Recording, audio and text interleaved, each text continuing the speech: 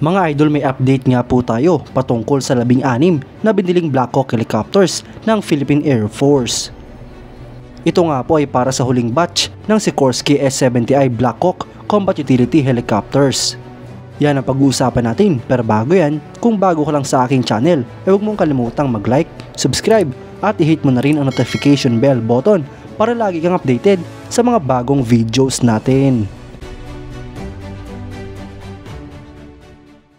Ang Antonov AN-124 Ruslan Commercial Heavy Airlift Aircraft ay may dala ng limang Sikorsky S-70i Black Hawk Combat Utility Helicopters na siyang huling batch sa labing-anim na mga Black Hawks na binili ng Philippine Air Force. Ang mga helicopter nga pong ito mga idol ay mula sa PZL Melek sa Poland. Ang eroplanong ito ay lumapag sa Clark Air Base Pampanga ilang oras pa lamang ang nakalilipas. Ang delivery nga pong ito ay siyang kukumpleto sa labing-anim na mga Black Hawk helicopters na para sa Philippine Air Force Combat Utility Helicopter Acquisition Project na under ng Horizon 2 phase ng Revised Armed Forces of the Philippines Modernization Program. Ang mga Black Hawks na ito ay sasailalim sa localized checking at testing sa loob ng ilang linggo bago ito i-induct sa Philippine Air Force 205th Tactical Helicopter Wing.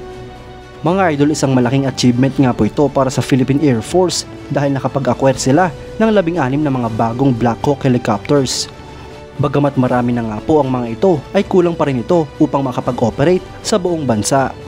Kaya't sana ay matuloy pa rin ang plano ng Department of National Defense na mag-acquire pa ng panibagong labing-anim na mga Black Hawk helicopters. Kayo mga idol, anong masasabi nyo? Comment down below for your thoughts and opinions. At yan nga lang po ang balita natin ngayon mga idol. Maraming salamat sa panonood.